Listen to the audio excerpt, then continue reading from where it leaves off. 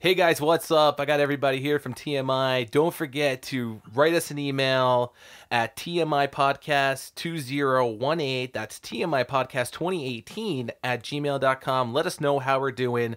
Also, check us out on Twitter. Follow us on Twitter at TMI underscore podcast 2018. Just use the numbers, don't spell it out.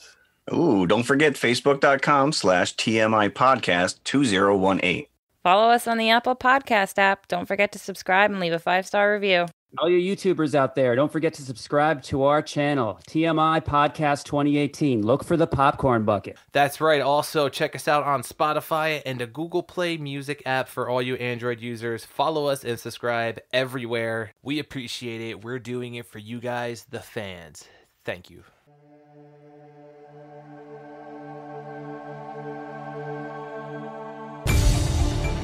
The moment our fellow geeks, dweebs, nerds, and other unfortunates have been fervently waiting for has finally arrived. It's time for TMI Confessionals of the Nerd Kind. of the Nerd Kind. of the Nerd Kind. And now, your hosts. Dave Odinson Warhowski, Jeff Nerfherder Chandler, Jim Kaiju Baker, and Mike Mjolnir Evans.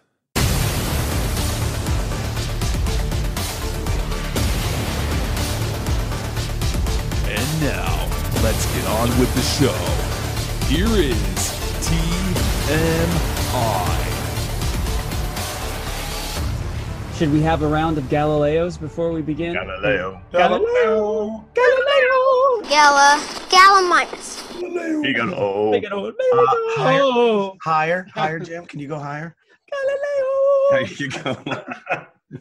I am actually going to apologize to the listening audience right now. Uh, I lost my voice earlier. When I went to Bohemian Rhapsody, I thought that it was an audience participation. I sang really loud and uh, was promptly kicked out of the theater. But I lost my voice in the process. So it became a fun little sing along at the end. Like a Rocky Horror type of thing. Yeah, basically, just uh, without toast.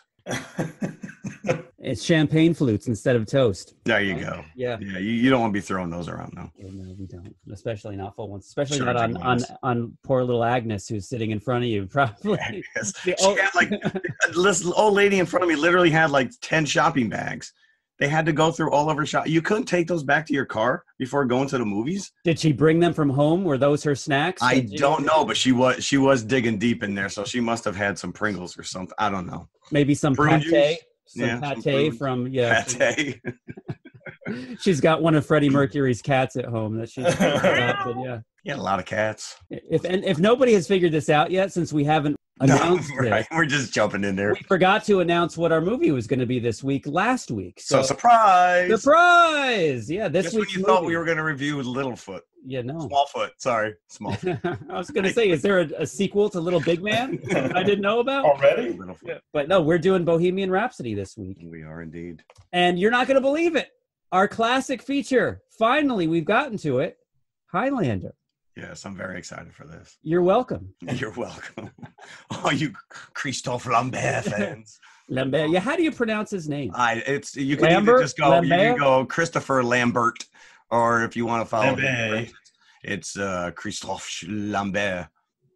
I wonder if there's a, a French restaurant out there that has a dish named after him, and they just they just look at you in disdain if you order it as "I'll have the Lambert, please." Uh, the Lambert with the escargot, please. This is not alien. There's no Lambert here. Lambert. You know, he he had just learned English right before this movie. Crazy, right? Really? Yeah. I would never have known that. That is unbelievable. I'm shocked to learn. There can be only one. Well, I think what his only other movie was Tarzan, where he didn't speak English. Yeah, that's might as well describe his film career. There can be Ah. only one. Man, we're starting early with this slamming. That's later on in the program. Yes. but we're going to start with Bohemian Rhapsody, which, unless you're living under a rock, you would know that this is the biopic of Freddie Mercury and Queen. Queen. Not Queen Elizabeth. This is not Claire Foy. we're talking about. We're talking about the rock band Queen. I have a problem with biopics in general, especially rock biopics. They just kind of elevate these moments into movie moments. For example, when Brian May in this movie comes up with We Will Rock You, so I have an idea. And it's just this Right. epic thing. Boom, boom, boom. Really, did it really, you know, did it really go down like that? Did, I'm know- sure there's a lot of Yeah. uh, creative uh, license. I realize that you have to do that for a movie, but just things like that don't ring true for me. So just I'm getting that off my chest just from. My, my problem with rock biopics in general. Uh, Well, do you want to get into this, or do you want to talk news first? We do have. actually, yes. Let's talk news. Yeah, I'm All getting right. ahead of myself here. You are. All right, news. Yes. we? All right. Austin Powers four. Good idea. Uh, yeah. you caught me off guard, but yes. Yeah, Austin Yes. Powers four. I was trying to think Austin Powers three, and that's what that was Goldmember, The gold right? member. So, Not which the I didn't really. not the I, strongest of no, all three. I didn't like Austin Powers three very much. Right. You know, we know Michael Myers had a nice little cameo in this Bohemian Rhapsody. A little too meta for my taste. We'll get into that. But what else has he really done? So is he going back to the well? It's supposedly it's in the works. Uh, Jay Roach is ready to direct. You got to get paid. I guess so. I'll probably be there. The Cat in the Hat really, I think, Oh, the cat in the hat. railed Oh. Mike Myers, which I watched it not too long ago. Why? It's not terrible. Why? It's really not terrible. You really No. give it another. I like chance. that. That's a rave review right there. Have you ever seen it? No. Actually, I go. take that back. Actually, I take that back. I probably have seen it. I don't remember caring one way or the other. I, it didn't leave an impression on me. Well, for most, I mean, I do like him. I think Yeah. I think he brings a lot. You know, he's a fun actor that just brings a lot of fun stuff to it. So uh, maybe I'll have to watch it again. I tell you, my son loved it when he was seven. you know, He's eight now, but we watched it about a year ago, and Yeah. at the time, he just wanted to get it from the library over and over and over again.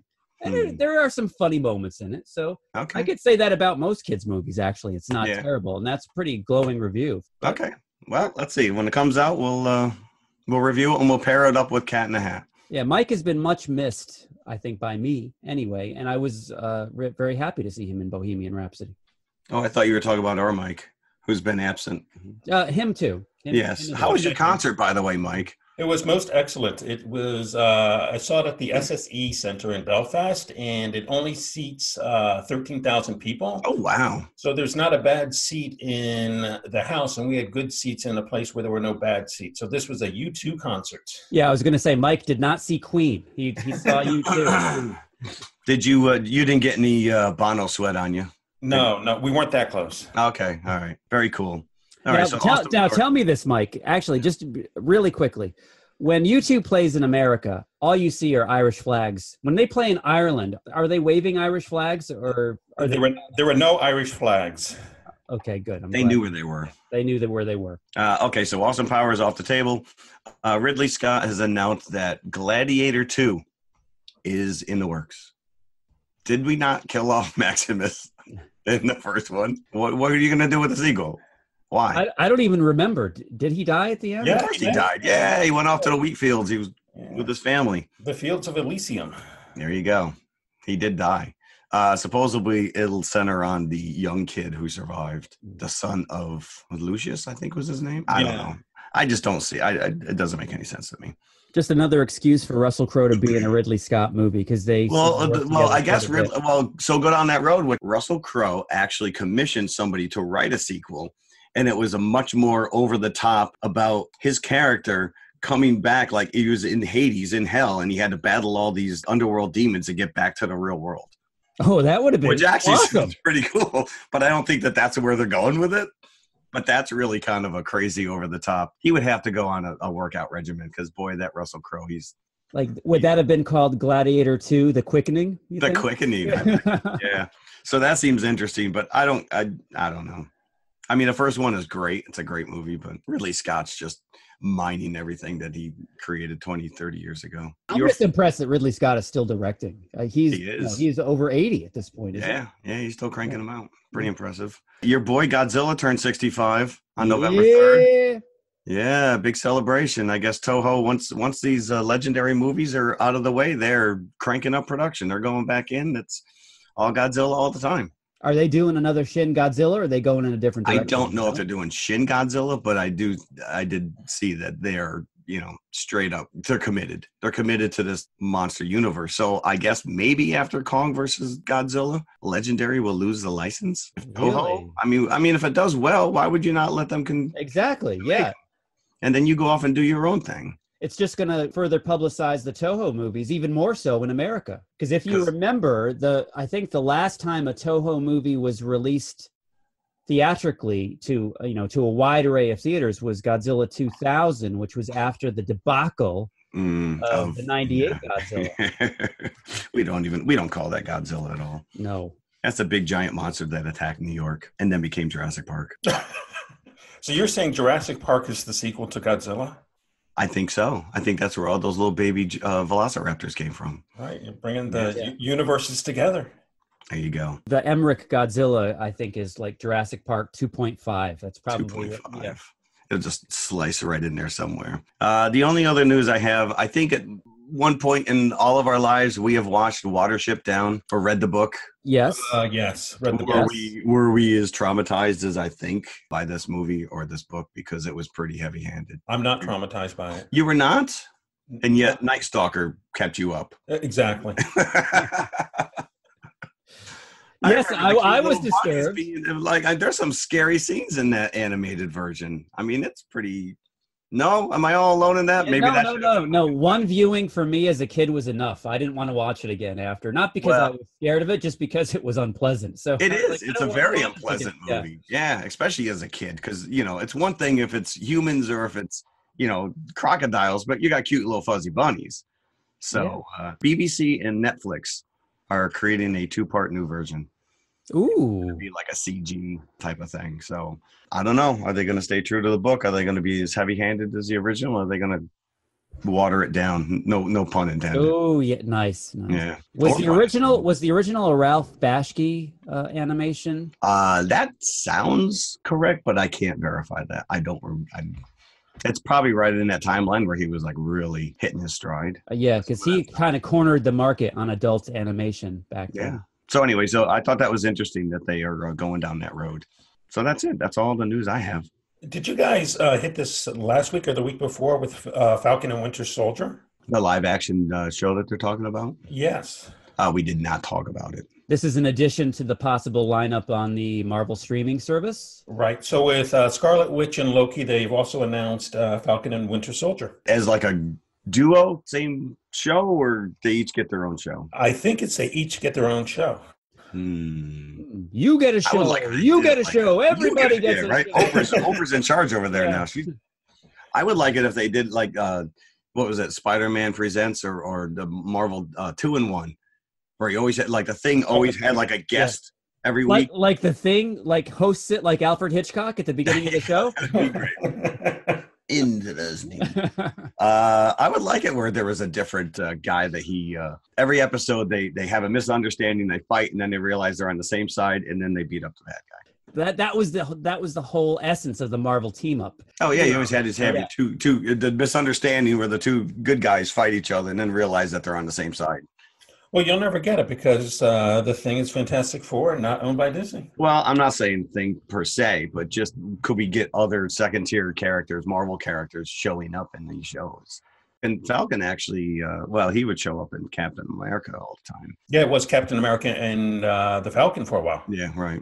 Yeah. I don't know. Interesting. And you know what's sad about that is, to Mike's point, how Fantastic Four is in the realm of 20th Century Fox, but now that's owned by Disney, so it could happen. Oh, it right? also, Oh. I've also read reports in uh, Hollywood Reporter that China might be putting a stomp on this, trying really, trying to cut down on this. Yeah, I don't know whether they're going to cry that it's a monopoly or that they're or or throw more money. I don't know. Uh, It's not a done deal yet per se, but I think wheels are already in motion. I mean, we're already getting Skrulls in Captain Marvel, Yep.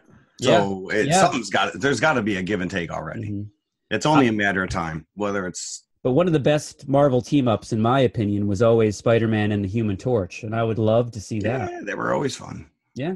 So this is a podcast about Bohemian Rhapsody. We should also just remind our listeners. Yeah, are we done with our news? Or can we we, are get we into are it? done with news. So, gentlemen, Bohemian Rhapsody has been getting a bad rap, as they say, a bad rhapsody Oh, from critics around the country. I uh, I don't know who these critics are, but I think they need to lighten up. I, I what is what definitely is the, believe what so. is the slap against it? the It's flap against gay it enough? is, is that what? That's one of the things. It's I because. I do agree with that. I mean, it's stupid to say, but you know going in who he is and what he was, and I think the word gay is mentioned once, bisexual and queer. That I mean, you don't have to knock me over the head with it. I don't need to see. Yeah, they did kind of skirt around that a little bit. His personal life, which I think maybe some people went in thinking they were going to get more. But then I did read as well with uh, Rami Malek, who portrays Freddie in this movie, that they only had two hours, and and what did they want to focus on? So they had to skirt around some things if they wanted to put more of a spotlight on the music. So it's you know there's compromises, obviously. Yeah, So- there was the interview I saw with the cast said that there's easily a five hour version of this movie out there Right. somewhere because they did film a lot of songs that didn't make the cut. There's probably a lot of more backstory stuff that just again you got you got to weed it down. You got yeah, it's somebody's life that you're just putting in two hours, right? And it- and it really you know you go from he meets the band and they're immediately touring and then all of a sudden they get a record. Yeah, so you, you- like you like Jim what you said before, which is you're skipping to these key moments. You're not. I my one swipe against it is the whole Bohemian Rhapsody scene where they, where they're in the recording studio up in the barn in the farm, and it's it's a fun little montage. You're seeing the creative process, but I want to see more of that. You know, maybe you you make it sound like you know they they sensationalize that, but but those songs were so out there and so iconic. It seemed to me that there has to be more of a creative process that went into that, back and forth. You see, I enjoyed that scene where they were creating that song. Oh, that was fun. It was very yeah. fun. Yeah, that I just didn't want to see more of that. Yeah, that that didn't seem like throwaway. Okay, here's a classic moment. There were they that was pretty detailed as to what they did to create that um, sonic palette. But Right. then you have a scene like where Freddie first meets the other members of Queen. Well, I guess you'll need a lead singer. You know, Right. Oh, here's some lyrics down wrote. Yeah, yeah, exactly. And that Not with those teeth, he said. I enjoyed the show. I also I write songs. Uh, Our lead singer just quit. Then you'll need someone new. Did you ever find yourself looking in his mouth when he when he was singing and he lifted up to see if he could see his teeth behind that thing? like a shark. well, yeah, because it's got to just be it's got to be like a prosthetic, that lays over his real teeth. right? I mean, for him to be able to enunciate and to act with that thing in his mouth, I mean, it's very impressive. And I and I, I one of the other swipes that I read was that whoever created this didn't know what made Freddie Mercury so special. And I just laughed because Brian May, who is one of the band members, is uh, produced this thing. As did Roger Taylor, who was the drummer. Yeah. Yeah. So the two of them, I think, would have as much knowledge as anybody else going into this as who and what he was. this is just a critic who has no idea what it went into. Who kno- who doesn't know Freddie Mercury himself? I'm sure. You know, I may be mistaken, but I'm sure whoever wrote that didn't know the man himself. So how can you make that judgment? So it's all criticism is just arbitrary like this. So and we're we'll get into this with Highlander as well because Jeff, you were saying how you saw all these Oh. I was, yeah, I got very incensed. these critics take offense at, at, at a movie like this, but and they'll give it a backhanded compliment, like, but you know, it's exhilarating at the same time. Yeah. Well, that's you know, so go into they finish Bohemian Rhapsody, and they try and sell it to the uh, the record producer who is played by Michael Myers. No one will play Queen. and they finally you know they they basically tell him to go f off and they just promote it themselves and then you just get this montage of all these critic reviews coming up panning Yeah. the song as just being mundane and nonsensical and lazy and you know we all know what it is I- i mean that was one of the like a huge laugh in the theater Right. because Yeah, it was we, you probably know, the greatest moment. yeah, I mean, in hindsight, you're looking at this stuff and you just, you know, it's like reading a bad review in Hollywood Reporter about Star Wars when it came out. Yeah. Ah, it's a kid flick and it'll never go anywhere. Which is funny because it, it could really be predicting the reviews of this movie that that are Oh, Probably, Yeah. right, right.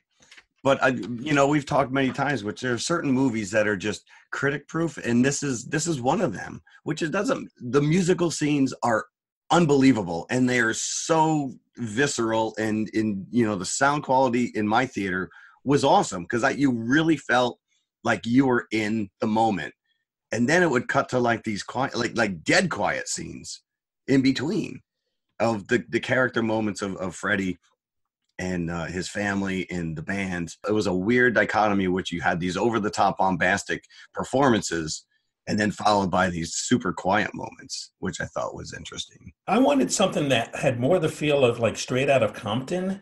You know, that just seemed like more of a real review of their lives versus Right. what Queen Yeah. was. You know, I mean, they kind of followed the same steps where you know you meet the band and then Right. they start to get Yeah. famous and stuff like that. But I, wasn't expecting more of a grittier feel that that movie has, but I, I kind of was like looking for a little bit more of that feel. That's It's like- interesting. That's and I wonder though because Bryan Singer gets credit for this, but he was fired ha- halfway through. Yeah. So how much is him? How much is this other guy? Uh, who was it? Dexter Flex Fletcher came in and basically finished. I don't know where one ends and the other Right. begins, and and what for the cast to say that there's a five hour version of this movie. It might have been grittier. It might have been, and you know, there had to have been a decision somewhere at some point where they wanted to kind of sanitize all that non musical stuff. I mean, I just had the sense that, and there are some known things in, in this movie where you know the it didn't actually happen the way that it's portrayed in the movie. That I, I just had the sense that their real lives were probably more interesting in some cases than were portrayed in the actual movie, and that just didn't come through for me. See, that's the what I was saying before about the the whole biopic thing is that it has to be sanitized for mass Right. consumption, you know. And this is a 20th Century Fox movie. It's not a little indie, you know, production.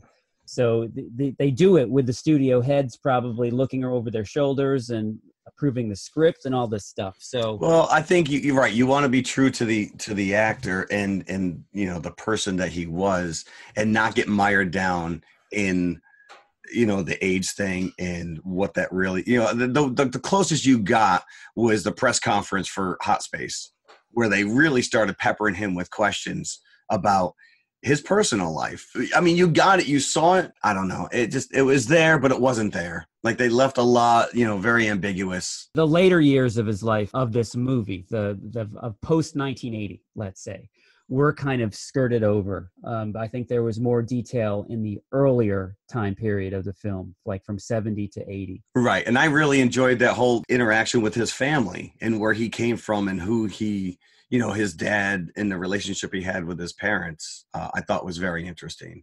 Now, I also I have a gay child, so seeing that and seeing a parent either embrace your child for who and what they are, or knock them down for it. Uh, and obviously, you know, the dad came around, but it was that true. Not every family relationship ends on a hug as you go off to Live Aid. Turn on the TV because there's my son dying, but I now love yep, him. he's gonna blow us a kiss. You know, look at Yeah, that. right. Yeah. So uh, I, I I was surprised that they did put in the full Live Aid concert. The full, yeah. I, you yeah, know what was great? I loved the bookend. You know, and I think Yeah. even, I mean, Jim and I, we we spoke. Well, I think all three of us at one point, like we spoke about like that is the seminal moment for this band, and so for them to kind of frame this entire story on that moment was genius. Yeah, and Jeff and, I I, were speaking about this. We watched Live Aid, you know, while it was happening, not there oh, in Oh, I'm the sure Mike did as well. but Yes, I did. yeah, yeah, Yeah, I mean, that was- We I mean- are we are that generation. Absolutely. I mean, this was this was unprecedented. This was this was this was a, the middle of the summer. You know, when you should be outside running around playing, doing things with your friends, and you were glued to the TV from like seven in the morning till like eight o'clock at night. Any band, and they even make mention of this, which is any band that was worthy back in the day was a part of this. Yes, yes. And all I kept thinking of was where'd that money go? Because there's still starving people in Africa. We should be doing this every year. Yeah. How come we're not doing this for people in, Yeah. Amer- in America? And Live Aid, I taped the entire, pretty much the entire thing on the VHS, which I watched uh, over and over and over again. And even though that Live Aid was the event that kicked me off on my almost, almost lifelong Bowie obsession, um, it all stemmed from Live Aid. The one performance that was the standout, and that still is the standout for me, is Queen. Yeah.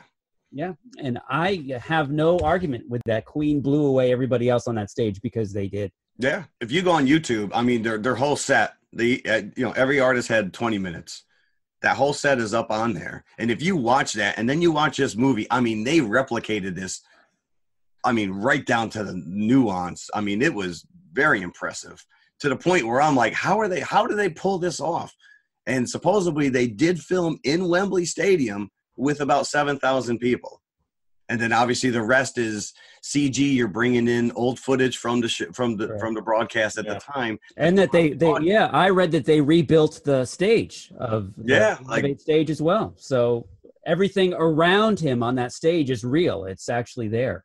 That's crazy. It, it was very it was very impressive. Yeah. The only song I think they cut from is uh, "We Will Rock You," which they did at Live Aid, but they did not include in the Live Aid performance. Well, I mean, it, it here in the movie. right to me, Radio Gaga is up there as one of my favorites. Yeah, Uh, yeah. so- this th- and this so performance did it for me. That's, yeah. that's why it's one of my Well, favorite songs. The other thing I find is funny, which is uh, "I Want to Break Free" is also one of my favorite songs, and I don't remember in the movie they said that MTV banned the video because they're all in drag. yeah, I saw it on MTV. Yeah, I, well, exactly. I remember Yeah. specifically being blown Yeah. away by this video, and like I didn't think it was gay at all. It was just it was funny because here's a guy in full drag with pearls vacuuming with a damn mustache. I'm thinking, well, maybe I just saw it on Friday Night Lights. Yeah, or- no, no, it was on videos. MTV, and that's So- not even controversial. Like even for then, it wasn't controversial. That So I don't, they were right, I, that was- that was the one thing in the movie where I'm like, I don't remember it being banned. Yeah, no, it wasn't. There was a lot of other. They were playing fast and loose with the facts and the actual timeline. Because, for example, okay, I'm going to be that guy now, but I was I was a little bit and I'm not even a, a huge, huge Queen fan. Even though I have a greatest hits, I have Night at the Opera. You know, I don't have every album, right? But still, these little inconsistencies bothered me, and I can't imagine if a huge Queen fan was watching this, what they would. But, but for example, humor me for a second the the initial U.S. tour that they go on that they're so excited about. In reality, this takes place in 1974, and Yeah. they're seen on stage singing "Fat Bottom Girls," which didn't Which is- exist until 1978. so that was the first thing that there you me. go.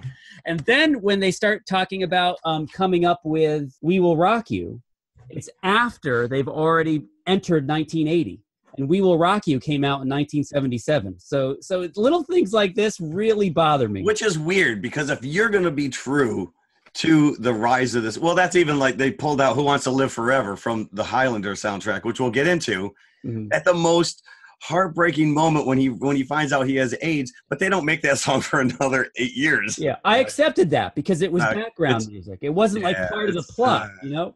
Right. Just like when they did Under Pressure, a few years after that came out, it was a you know they used it as like a background song. It wasn't part of the plot. Right.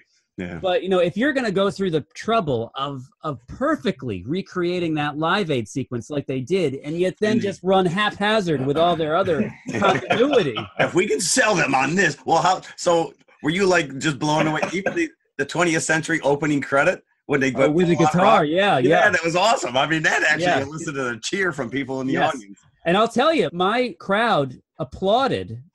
It wasn't just a smattering of applause either. The entire crowd applauded after the movie was over. Yeah, like I said, there was people singing. I mean, once you get, you know, I mean, that was the whole thing when he gets into, I want to be immersive and I want to have the band involved, you know, the audience involved as well, and that's where you know we will rock you and some of this other stuff came from, and, and it translated into the theater, where people were were so invested with these with these concert re- recreations. It was a lot of fun, and we all know that they're lip syncing but he did a damn good job. Yes, he I, did. I, I, they all did. I, the guy who played Brian May, I, I kept thinking he's Howard Stern, but right.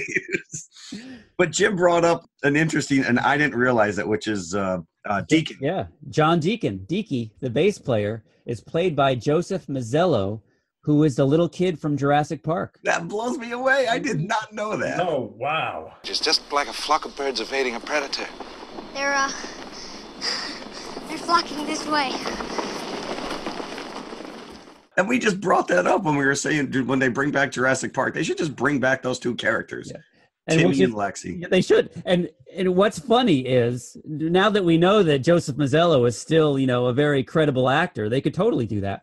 But Yeah. what, what's funny is he's channeling what I because I, was watching him because I knew who he was watching Bohemian Rhapsody.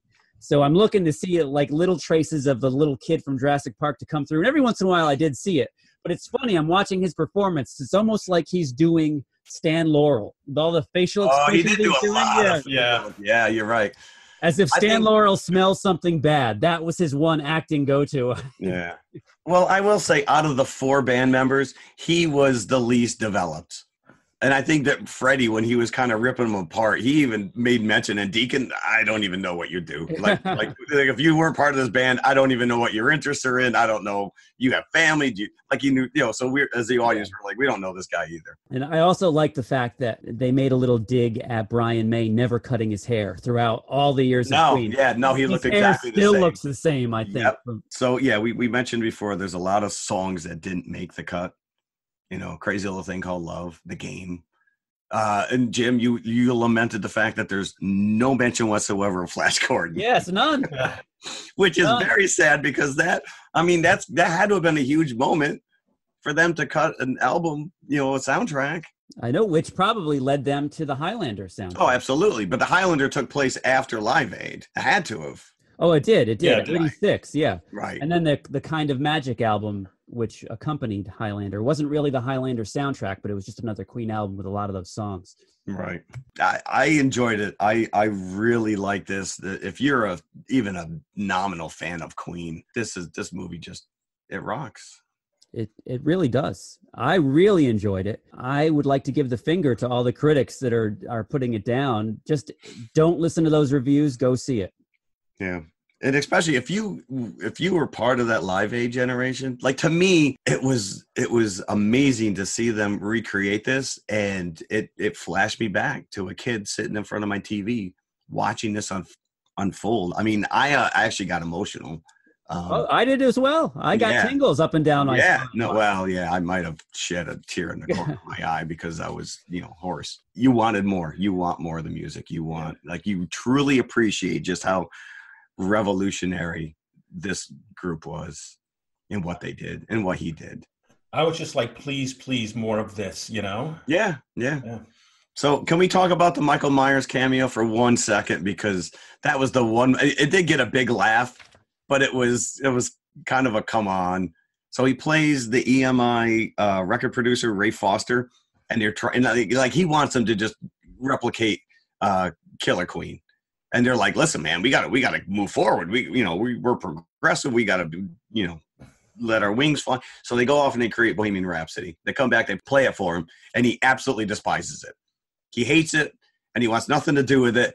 And so he wants to release um, "You're My Best Friend" as their first cut, and he's arguing with them, and he says.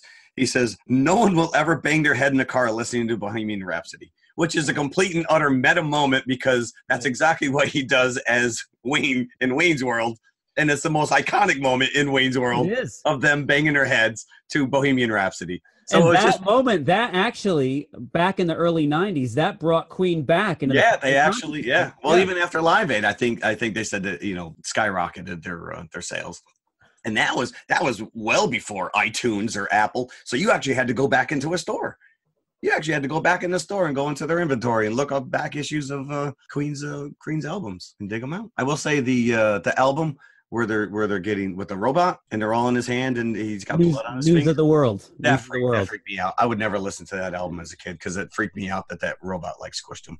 That's the one that's got "We Will Rock You" and Yes, "We Are the Champions." Yeah, well, I discovered that later. So yes, that's Yeah, all I got on it this. one. actually took me a while to realize that that was Mike Myers. I knew the voice first. well, I saw his credit. Yeah. I, well, that's like Littlefinger.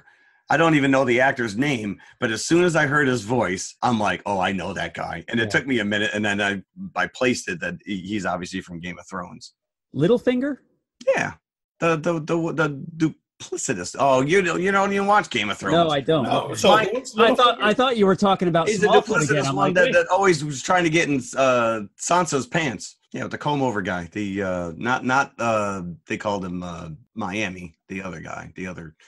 He fires him, kicks him out of the car. So onwards, onwards. so to, how many buckets are we giving? Oh, that's right, we do need to give it We- we buckets. need- We need buckets. Just for the music alone, I'm going for. Jim, you go. I would give it. I would give it four as well. I might even go four and a quarter. Wow. You know, did- Jim, yeah. you knocked me down a little bit with the continuity, uh, which wasn't bothering me as much until you until brought it until you pointed it out. Right. So I'm going to go three and a half, I think, mainly on the notion, and this is a continuity type thing, is the band did not break up before Live Aid. or not to my recollection. No, they did not. Right, and I, it was like I- I don't think that that added that much to the story that you needed to do that. So I'm just like I got I'll go three and a half, and and, and with a correction. Then Well, that's like that's like you know the you know story building 101. You got it. You know you got boulders, bigger and bigger boulders, and then you know you have this cathartic moment, and you know he comes back and begs their forgiveness, and all is good again. So Yeah, and then they, of course, to end it with Live Aid. I don't think that anything. If you had kept the movie going after Live Aid, it wouldn't have been as climactic. no, no, no. I think you know to book it like I said before, the bookend with that performance is genius. yeah, I, I was like ended here, guys. This is Yeah, yeah, yeah, yeah. yeah, yeah. The continuity Nice thing little- again. nice it- that didn't really affect my review that much because again i'm not like a mega mega queen fan so it didn't offend me i just noticed it but say if this was a bowie biopic and they had him as ziggy stardust singing young americans i'd probably walk out of the theater you would have a, you would have a moment. You'd be like, "What is this?" So Yeah. speaking of popcorn buckets, as I'm um, so I went in early yesterday, and I'm only going to get a soda. And as I'm standing there at the concession stand, the manager walks in with these little bags of bright orange popcorn. They now have Dorito, oh no, Cheetos flavored popcorn. And I immediately said, "I need one of those." and it was it was those uh, Cheeto Crunch like mixed in with. It was like crunched up, so so your popcorn was bright orange, and it just left my fingers tarnished. But then I had actual Cheeto crunches in it, and it was the greatest thing ever. I'm like, I gotta, I gotta do this when I get home. well that sounds wonderful i think we should go get some right now I think so. Let's go. health food, huh?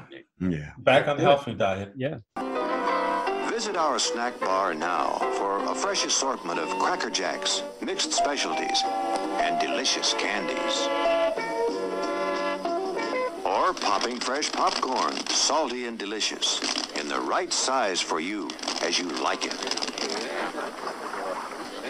Refresh yourself with a cold, icy, sparkling soft drink. We have all of your favorite flavors. Visit our snack bar now. Your picture will start in one minute.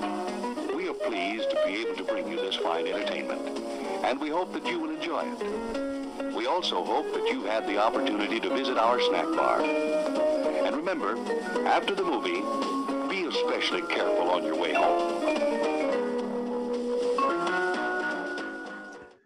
So okay so what do we want to tackle next do we want to go highlander or do we want to do, go night stalker I think we gotta fo- we gotta follow up Queen with Highlander. Yeah. all right then all right let's do Yeah, it we gotta we gotta stay on that same wavelength because this is completely bypassed in the movie as well. We never, and you know, we like I said, we we do get the uh, Who Wants to Live Forever. very apropos i think they Yeah, it was a little too on the nose. So you guys, you guys take this one because I'm a newbie to Highlander. So you guys are intimately involved already with this film. Well, I will say, aside from Star Wars and Back to the Future, I have seen this movie more times than any other. Doesn't mean it's a great movie, but it's up there with. It's probably one of my top five movies.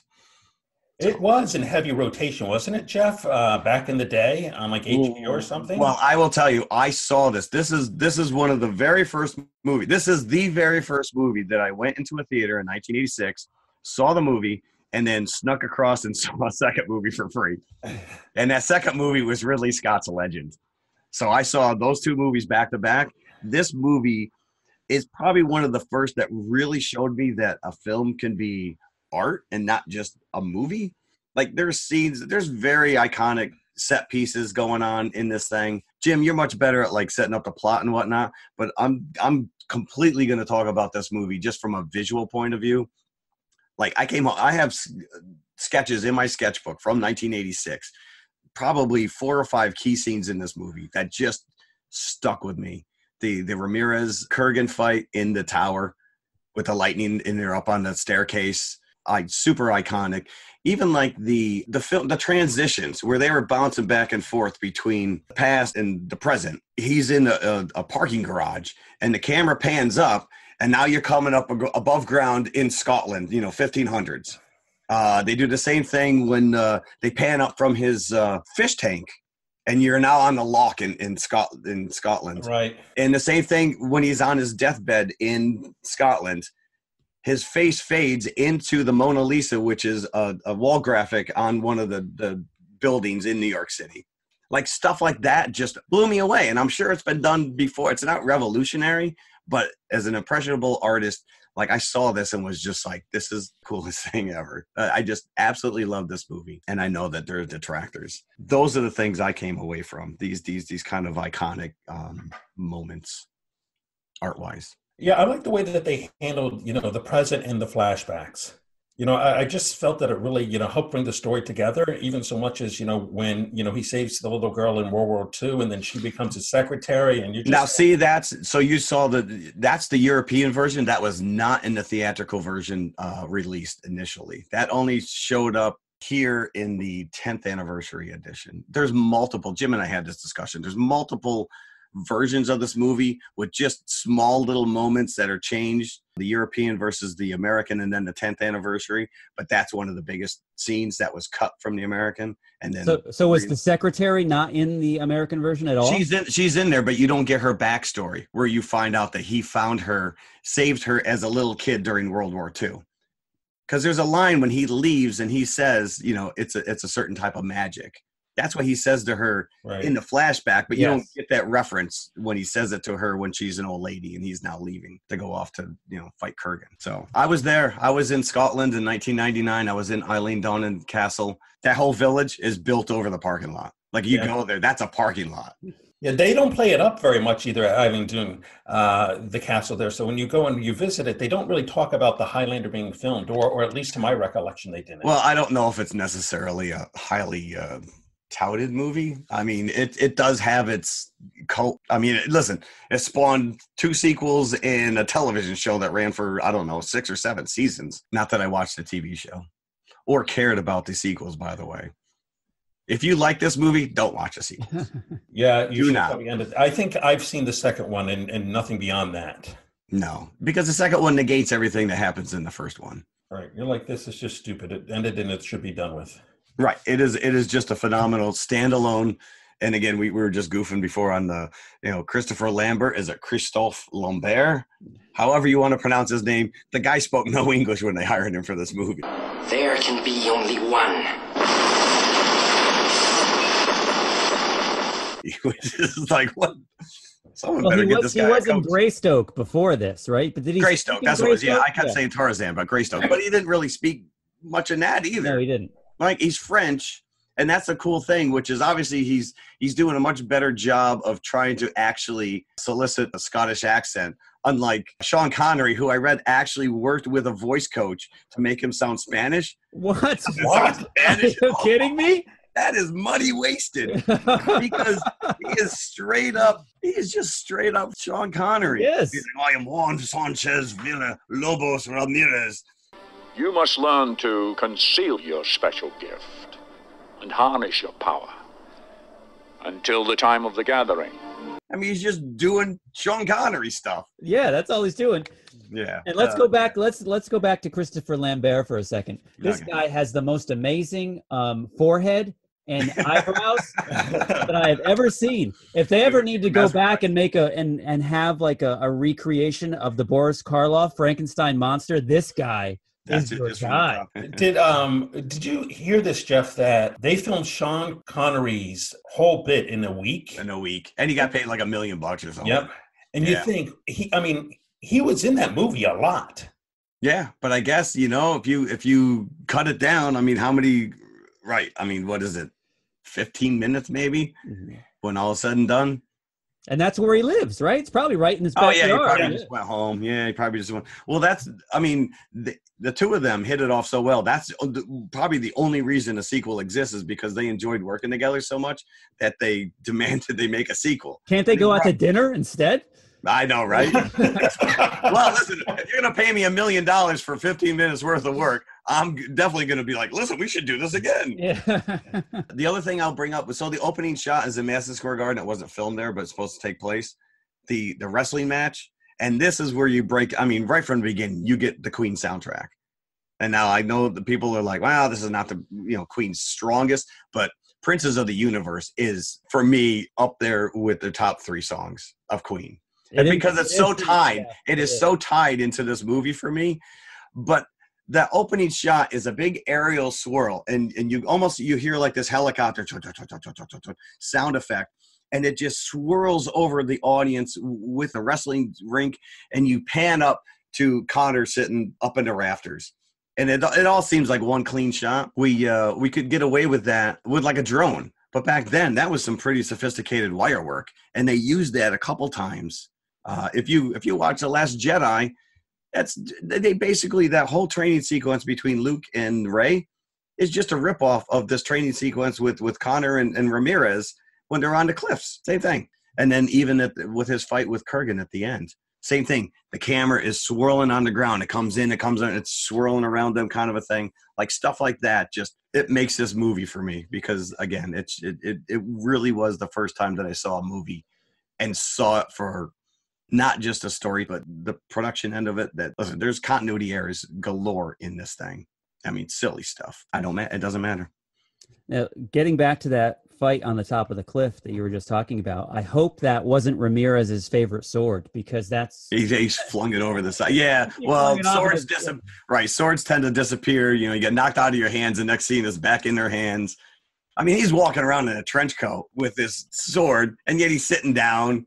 He's doing all kinds of stuff, and it's like that thing would. I mean, you can't even sit down with a phone in your pocket, and yet this guy's got a four foot sword but th- there is a lot of dichotomy going on in this movie in terms of it's balancing the artistic as what you were saying with all these sweeping shots. Russell mulcahy came from the mtv video world. So he's done you know any iconic mtv video you can think of from the early 80s he directed. You've got all the duran duran videos from rio hungry like the wolf so he came Wild Boys, pedigree um, of the wow. Buggles video killed the radio star. He did. Oh, really? You know, all the Elton John, all the Cult- Culture Club, Human League, all those new wave bands he did that like kind of set MTV in motion back in the early. Wow, 80s. I don't think I. So knew. he's got all those chops. You know, the the quick cuts, and, and it's just funny as I was looking him up online, and it said there was some website that said that he is known for windblown drapery and fans. And,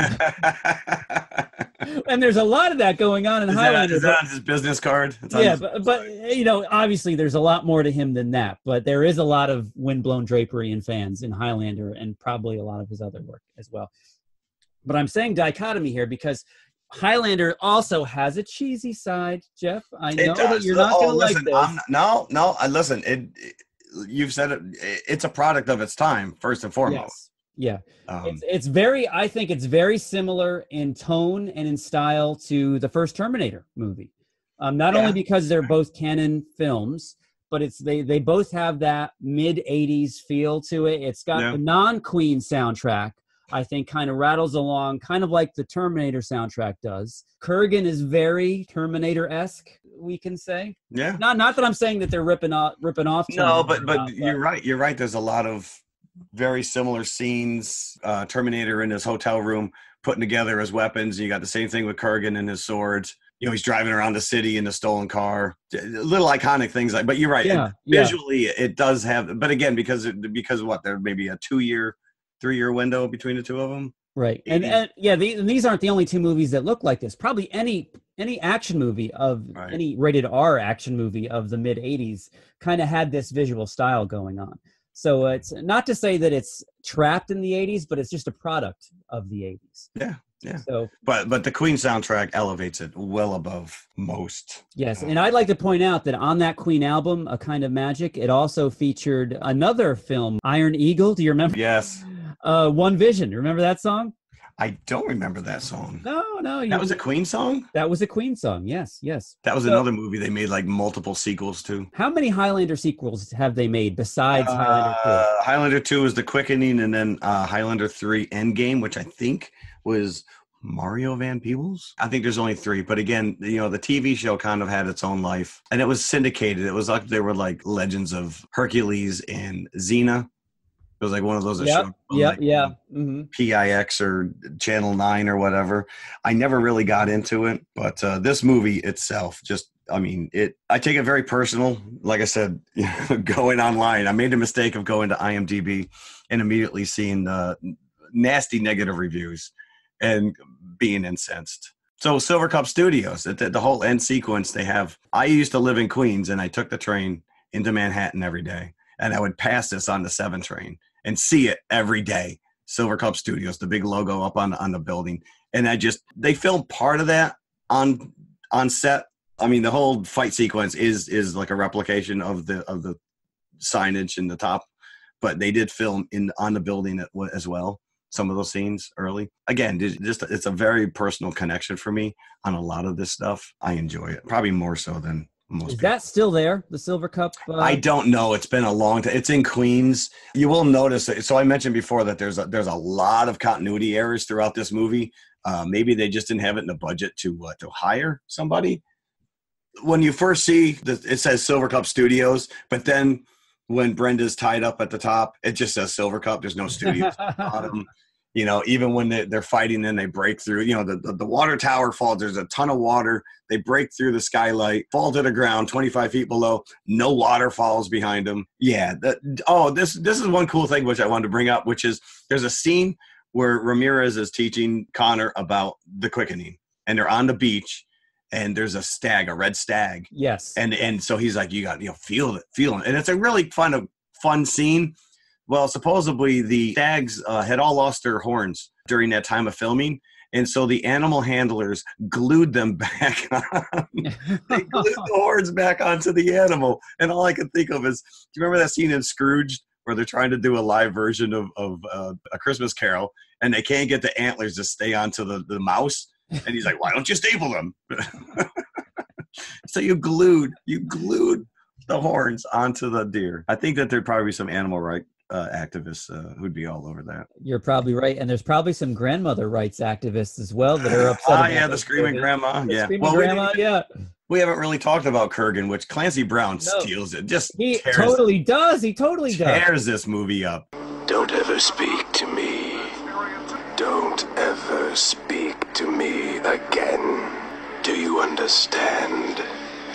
Good.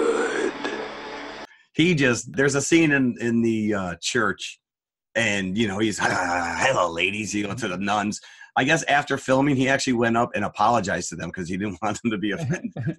but in the moment, he was the character, and he kind of just yeah, it's He is like a monster in this movie. It's Yeah, well, he is a monster. Yeah, so here's yeah. the thing, which is we've seen numerous times. One of my favorite flashbacks is when Connor, uh, what is it, like the 1780, 90, 1785, where he where he gets into the the rapier uh, sword fight with the guy because because he insulted his wife, and he gets stabbed numerous times. He falls down. The guy thinks he's dead, and he gets gets back up. Because you're immortal, you heal. And yet Kurgan still has a scar on his neck from Ramirez from 200 years ago. How come that never healed? I never thought of that until I'm watching it this time.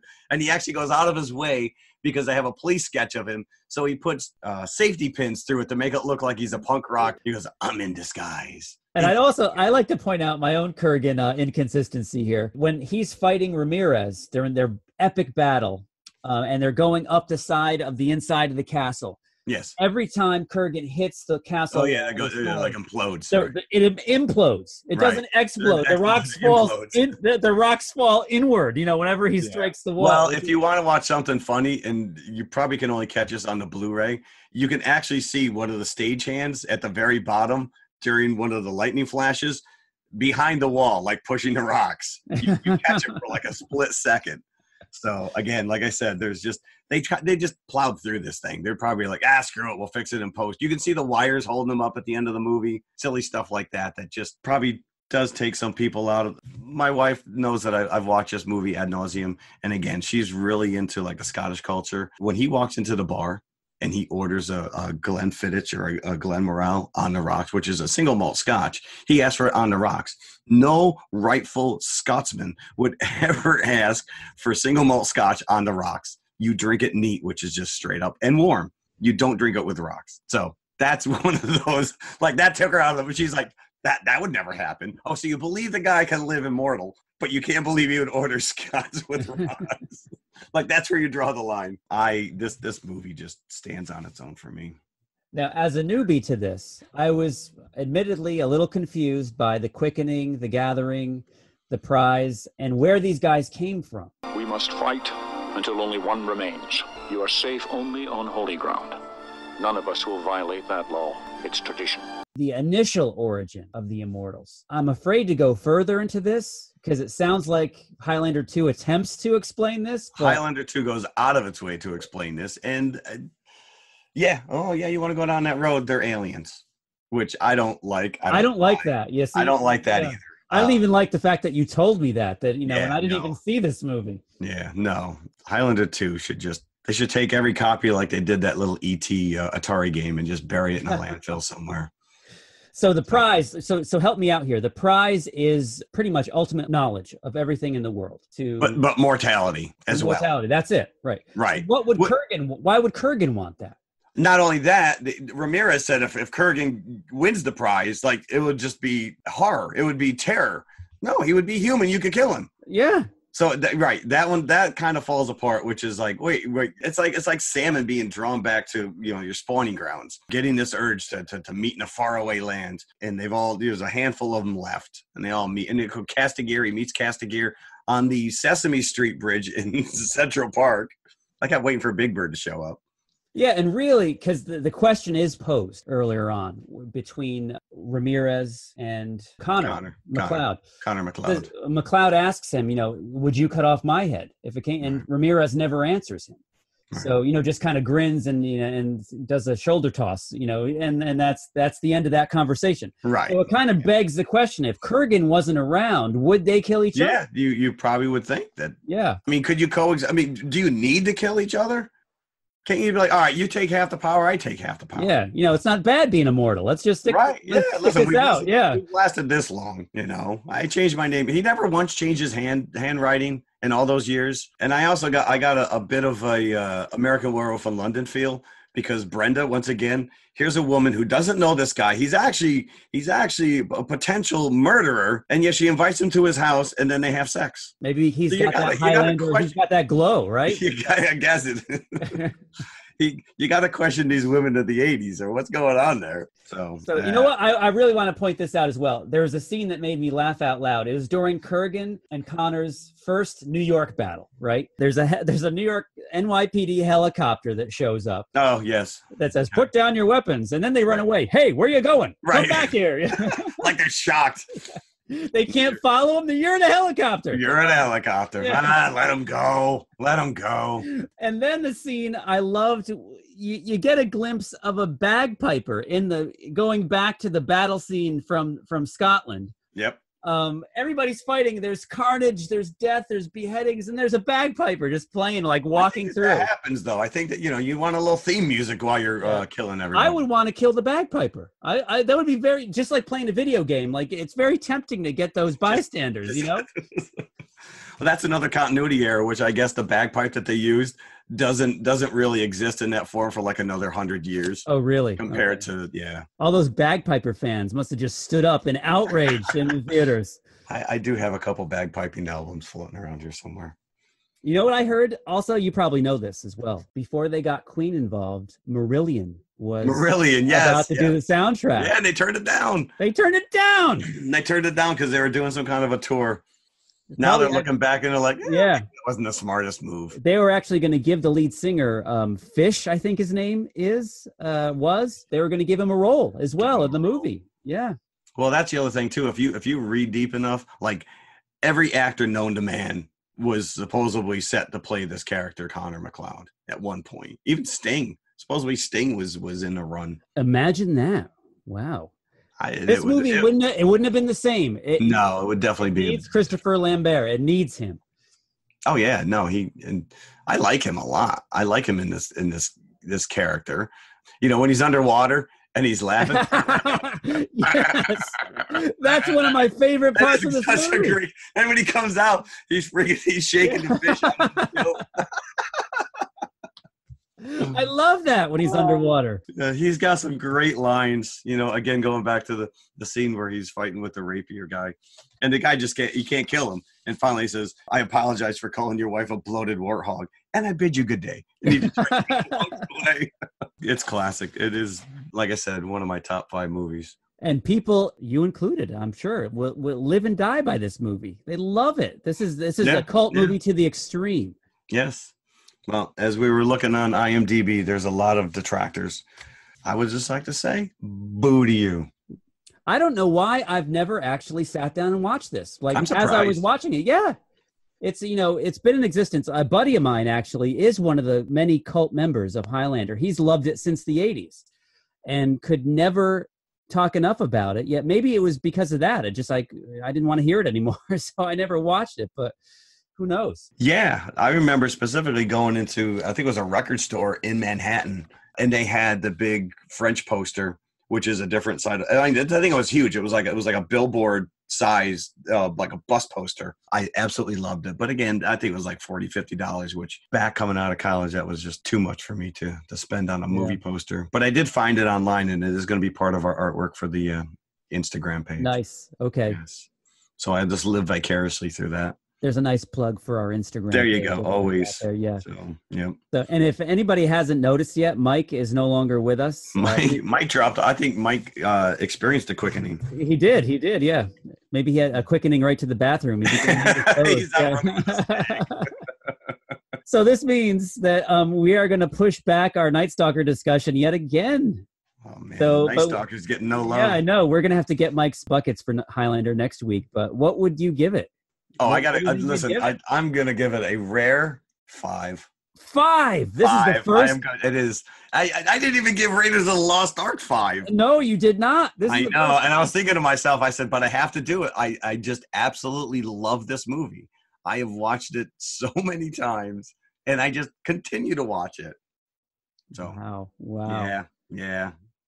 You see, and I make uh, no apologies about it. I really don't. And none needed. None needed. You know, talk about estimations being down. Yours is going to be lower of me pretty soon. I would give Highlander three and a half. Three and a half. Listen, uh, you half, know, yeah. your first viewing again. Yeah. You know, it's a product of its time. It's. I'm coming at it from a very personal point of view. It, it it was a movie that affected me when I saw it for the first time, and it's just like I said, it's not a great movie but that's what this is all about. It's just you know how how do these movies connect with you? You know, it's true. Yes, yes. That's part of the reason we do this podcast yeah. is to yeah. visit this stuff and to get these feelings out. I didn't cry. I didn't cry like I did in Queen, but they were happy tears too. I I couldn't believe because I've never I like Queen and I love the music. There was moments where I was just so swept up in who and what this guy was, and and yeah, that that whole live aid. Not to go back to that, but it really moved me. Yeah. I was like, this is this is. Of course, I also wept at Mary uh, Mary Poppins Returns uh, trailer. so. Yeah, that was a little emotional as well. I got that trailer too. So right. I can only hope. We were talking about this before. There was an Elton John movie coming out, uh, Rocket Man. Yeah, which I seems a little yeah. more fantastical. It doesn't because I think it's they even taglined it like like a, a, a rock fantasy, right? Something. Kind of in the vein of maybe Across the Universe, that Beatles. Yeah, yeah. Not too long ago. Yep. So if they could capture just an iota of what they did in Bohemian Rhapsody, I think that we're in for a treat with that Rocket Man, hopefully. And uh Taron Taron Egerton, yeah. Egerton, uh, and it looks like just uh, from the trailer that he is doing his own singing, which I, I, I applaud. I mean, I guess maybe again, I don't know. You know, like you bring up um, David Bowie. You know, if they did a biopic and whoever they had, would you prefer he's lip syncing to the original songs or I think I would. I think I would prefer that they were lip syncing, and I. Right. I think it would take you out. Imagine that you know, as good as Rami is in this movie as Freddie, you can't sing like Freddie. There's oh, no, one can. Nobody no one can. can. No one could or can. Yeah. Um, I do remember who was the kid from uh, American Idol that toured with Queen a while uh, I think his after. name is Lambert too, right? Uh, oh, Adam Lambert. Yeah, yeah, it all, it all ties Lambert. in. There, there you go, Adam and, Lambert. And and and again, you, like you said, you can never replicate what Freddie Mercury did, but this kid toured with them and he brought his own level of energy to yeah. it. And I actually would have liked to have seen that. You remember the uh, Freddie Mercury uh, benefit concert at Wembley in '92? Yep. Yeah. Bowie was there, and Elton John was there, and a, a bunch of, of other British guys. Yeah. Bands, and I think Seal did "Who Wants to Live Forever," and I that version oh. has always stuck with me. That's a great version of that song. I'll have to look that up. Yeah, you should. Yeah, that is that's another key scene in uh, Highlander that we didn't talk about. After Ramirez is killed by Kurgan, and then you cut back to you know the decimated castle and they're living in a hut and connor comes over the hill and he's looking for heather heather heather and she comes up over the hill and she's just got this old lady makeup on yes yeah. you know? she didn't look old she just looked no. like she rolled out of bed. Yeah like like like like somebody just cake you know, like like two minutes to airtime yeah. Some crap on her face and send her on her way. But yeah that that music that song is playing over it and it's just so like you know, who wants to live forever. And it's like, oh, she's gonna die, but he's gonna live. Oh. So there you go. So yeah, and as we said, we'll have to get Mike's take next Yeah. week Did on did, Highlander. did you get the impression that he liked it? Uh, I did. I did. I think he did. You know, he's. I think he's very well acquainted with the film. He's seen it numerous times. We were talking earlier in the week that he could probably do this show talking about it without watching Without it. Again. watching He it. So familiar with it. Cool. Five buckets. I went from five. I five. I know. I know. That's at some point I got to write down everything that I did because yeah, for me not to give Raiders the Lost Ark five is is uh, remiss on my part. But Yeah, the and the only so far I think I've we weren't even giving buckets yet, but I would give Alien five buckets. but again, right? It's because of your personal attachment to it. It's your connection of when you saw it, who you saw it with, and the age. I think really has like if I saw this as a kid, I probably would, eh, cool or whatever. First year in college, exposed to. I mean, you were 85, 86. So I'm I'm being exposed to WLIR and all this new wave stuff I never heard of in my life. You know, I never I never really had a, a movie going experience outside of make the drive-in. You know, we went to the drive-in as kids growing up and even in high school. But to sit in the theater, and again, like I said, I saw this back to back with Legend, and I have almost the same connection with that movie as I do with this one, which is it is really uh, Tangerine Dream soundtrack Yeah, like yeah. I, elevates that movie. And it, again, it's not a great movie. You know, I think Ridley Scott and Tom Cruise both said, "Listen, we'll we'll never make another movie like this." yeah. So so Jeff, be honest. The best day of your life, the day you saw these two movies, or the birth of your children. Oh, you can't. oh, my son Highlander. uh, we'll let you know. Uh, I can imagine seeing these two movies back to back. I'd be completely overwhelmed. I'd be in a catatonic state. Yeah, and it's not like you know, and you just go home and process. And like I said, you know, my sketchbook shows that that these movies just they left an impression on me. You know, I went home and those key scenes, I just I just had to get them out of my head. And it wasn't like we didn't have internet back then. You didn't have no Highlander fan magazine. I mean, they did come out with a Highlander comic years later. Legend was such a one-off, but boy, you talk about that Tim Curry, the design of that character, uh, Darkness, is just it's yeah. We'll we'll Oh, get yeah. into that because that movie we gotta we gotta Yeah, we will. Oh, oh, we will. yeah. So yeah, Mike's not going to be here for my confessional question because he will roll his eyes. He probably would have disconnected anyways. So our confessional this week, Confessionals. since we are in the Queen rock and roll Highlander mode, what is your favorite all-time movie soundtrack? So should you want to go first? No, I want you to go first. All right, all right. I had to go through my collection just to give myself some ideas throughout the week.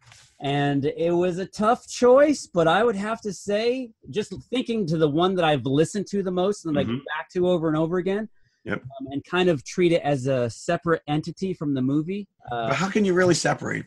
That's that's part of the like I can't I can't listen to these like you just told me you know Queen the this the soundtrack exists as an album. There's no way in the world that I could listen to these songs and not equate it back to the movie. well, let me explain. Uh, let me let me name my my Okay, soundtrack that's all right. choice is going to be "Head" by the Monkees. Monkeys. I love the movie. You know, it, it is not just a 90 minute episode of the Monkees TV show. It is a really out there psychedelic trip, for lack of a better word. Are we talking? We're talking probably mid late sixties. 68, I believe. 68. Okay. came out. I was So- all of one year yeah. old. So it was after the show was done, kaput, and they put this movie out. But by that time, all the teeny boppers had moved on, so the movie was not a big box office success. They were hoping that the soundtrack would do well because the monkees were still a viable recording Right. But this soundtrack kind of put the nail in that coffin as well. Oh no! The soundtrack is produced by Jack Nicholson really? who was in the movie and he's part of the production team of the movie as well. So what he did was he took the songs and he he framed them with dialogue, which is kind of a normal way to put a soundtrack together these days. Uh, and it was in the back in the day too. If you think about all those Disney soundtracks that have the story and the dialogues right Yep. through the album, Yeah, yeah, yeah. Yep. That's my Robin Hood. But this, he kind of is, is taking lines at random. A line from this point in the movie is is in the soundtrack, and then it's answered by another line from the movie that's you know a half an hour later. So he's it's the it's a collage of what's what you see in the movie. So it's not like replicating the viewing experience. It's an experience all its own, and for that, and because the songs are just great, the Porpoise song, "As We Go Along," "Circle Sky," it's the last recorded output of the four original monkees together oh Um, wow. Okay. So yeah, so I I really like it, and I'm a Okay. big Monkees fan, and that's my number. Well. I will say I, I am a big Monkees fan. We were in a we were in a pub down the street last night, and there was a band, and they launched into uh, Daydream Believer, and they did a nice cover version of it. Really? I can honestly say I have never seen this movie. You've never seen it? Wow. We're gonna have to do this one I, I, I'm in. Yeah. Listen, I am all game. Listen, let's do it. So my uh my soundtrack, I will tell you, it was one of the very first cassettes I got from the Columbia Record Club. Okay. um, circa 1979. This, I think, movie actually earned. I don't, uh, maybe nominee. I don't think that they actually won for Oh, best let, song. let me try to guess what this is. Did it come Okay. out in '79? the movie came out in 79. And are there songs on the soundtrack, or is it just orchestral? Oh no, there's songs. Yeah, songs. And the songs, uh, the, the main song, uh, I think actually was up for uh, best song in 19 the 19 sung by Donna Summer. not by Donna Summer. Oh, I was by- going. Okay. You want to know who sings it? I'll, t- I'll tell you Tell the me, artist. yeah, tell me, tell me, tell me. Kermit the Frog, Oh, you just gave it away. Okay, the Muppet movie. the Muppet movie. Moving right along. moving right along rainbow Con- well rainbow connection was the one that was uh, uh, up there so even even last week when we were talking about american werewolf in london and- and we brought in frank oz Yeah. frank oz to me is always fozzie the bear and i this is the movie that i i probably saw this movie for the first time on laserdisc Oh. somebody somebody had a laser disc which i still think may, might be better than some of these 4k uh, tvs we have now but rainbow connection moving right along there's a duet between kermit the frog and ralph the dog uh, playing the piano hope that something better comes along Yes. these Yes. songs are just to me again they're kiddie songs or whatever but uh, you know the muppets jim henson and, and his group took this silly stuff and they kind of elevated it to next level And that whole song with Dr. Teeth and his band. Dr. Teeth, yeah. Can you picture that? So, and of course, you got the Miss Piggy uh, love song or whatever. Never again. Uh, I know this. I know this album inside and out. Does Move it right have, along, does it have dialogue? Does it have dialogue? Oh, absolutely. Yeah, especially especially when you get Kermit and uh, Fozzie in in the Studebaker. It's a song, but it's almost like a rap because they're talking at the same time, and then they launch back into the song. Move right along, chugga dum chugga dum, but loose and fancy free. Getting there is half the fun. Come share it with me. There you go. These people right now are just turning off their radio. They're like, "Oh, I'm done with this show." And Mike will be like, "Are you kidding me?" Because he I don't probably think I don't think this is bad. You know, I don't think this is okay. you know, Mike, on the other hand, he probably chose Quadrophenia or something. you're probably right. He Yeah. actually, he wanted to do Quadrophenia for this show. Oh, did he? Suggested Highlander, yeah. Because of the musical, you know, Uh, yeah, there you go. So yeah, I'd be surprised. Oh, if I nailed that on the head, kudos for me. Muppet movie. Yeah, I've got a story about the Muppet movie. Okay, go ahead. Muppet movie was in the theater the same time that Alien was. Alien. And I saw the Muppet movie in a theater that was also showing Alien at the in the on the other screen. It was a two screen theater. It wasn't. It was before the days of the mall megaplexes, really. Right. So we watched. A buddy of mine watched Muppet movie, and I dared him, "Let's go sneak into Alien."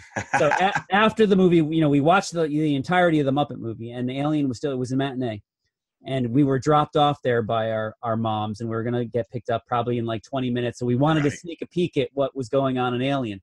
So we like tiptoe across the as if nobody could see us in the lobby, right? There you So go. we Oh, you both got to sneak into theater story here. I had my hands on the door, right? And the door Yeah. is opening, and I'm getting nervous because, you know, I know Alien is a scary movie and this is taboo. This is an R rated movie, and I can't believe I'm about to do this. Usher's hand on my shoulder. As I Oh. get the door open an inch. He's like, Where know, you I- going, son? Yeah, exactly. It was something to that effect where, like, I was in trouble and it was. Uh, My mom's in there. Yeah. Now, how old were you? well, with the Muppet movie, I was probably eight years old. Wow. Summer of 79, yes, eight years old. That's a that's a long gone bygone time when your parents would just dump you off. Yeah, I know. I, know. Right. I, I can't believe that they did. Now Yeah. thinking about it now, I would never do that. I would. No, right? Yeah, Yeah. we live in a different world. Yeah. Sad, but yeah, that's funny. Yep.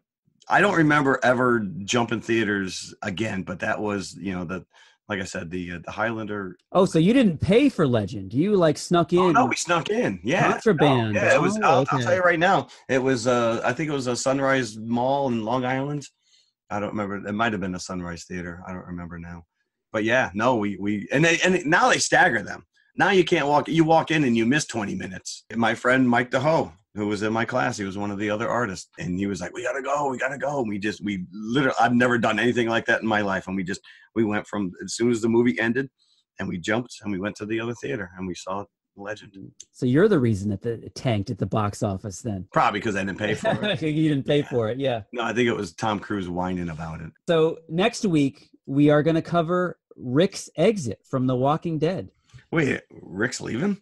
Yeah, you didn't know that. Sorry, sorry. Spoiler Oh, alert. Spoiler alert. We've only been talking about it for eight months. So yeah, we haven't talked about Walking Dead on this show for quite some time, but we figure now is no better time than any because we may not watch it after it's That's gone. true. Knows? Yeah, this may be our swan song. exactly. This is definitely. Uh, So we haven't really discussed a good matching feature with The Walking Dead. You know, Mike really needs to be part of that discussion, so we'll bring that to you as soon as we can. But but yes, next week is going to be a Walking Dead episode. So maybe we can do a zombie flick, who knows. We haven't done any of the Romero movies yet, so that this could be a good that chance. is true. Whose choice is it? Do we even know whose choice? Is I it? think we've we've thrown out, that out the window. I don't know. Yeah. We'll we'll discuss. Yeah. So uh, that so endeth our Bohemian Rhapsody Highlander discussion. Hope you enjoyed it. Yes, I did immensely. Thanks for everybody again for listening. All those that have stuck with us and our new listeners, welcome. And the Fiji Islands. Yeah, Fiji Islands and the Philippines and Jamaica. We're still maybe- trying to conquer America, and here we are. Yeah, I know exactly. Yeah, all and all you Queen fans, welcome. You know, stick around. There you go. Yep. Yeah. So there can be only one. All right, Ciao. a pleasure. Yep. Bye. So